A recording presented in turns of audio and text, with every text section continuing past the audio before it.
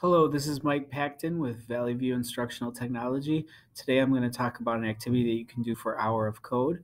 Uh, we've put together a website, www.vvsd.org slash hour of code, that has a lot of information about Hour of Code and things that you can do with students. There's links to a variety of websites and a lot of activities. And also, we're promoting our hashtag VVSD Learns and then Hour of Code. If you are going to do something, it's great to shine some light on it to everybody, to fellow educators, to parents, to the community, um, to highlight those important things that are taking place in your classroom.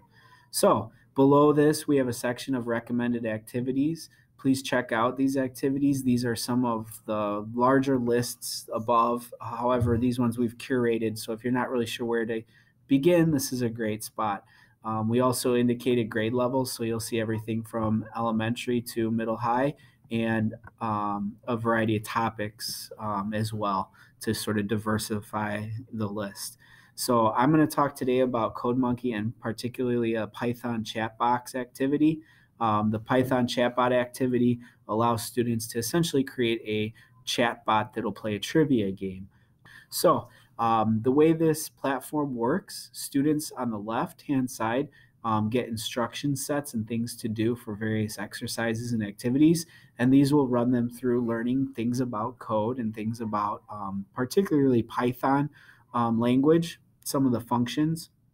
They'll also learn about variables and some um, computer science ideas that are not specific to um, any one type of language. So they're things that they're going to support no matter what type of coding students go on in the future and learn or use.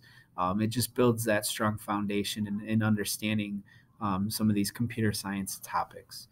Uh, in the center, they have activities that they complete, and this is the actual um, area for them to work on. So this is their code. They can enter and type code. They can click on sort of commands that are already pre-built in, and then they can also copy and paste things as needed um, from the left-hand side here. So I'm going to remove that line I just created.